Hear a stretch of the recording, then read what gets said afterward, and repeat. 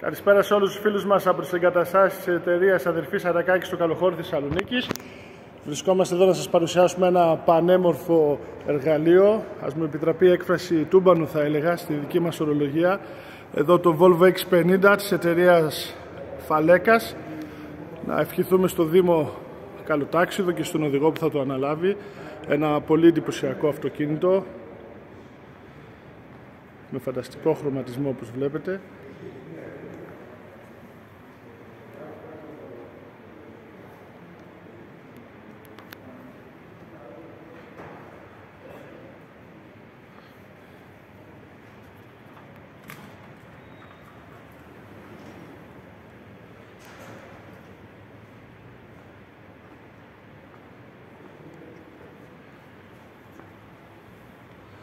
Εδώ και με τις αερογραφίες του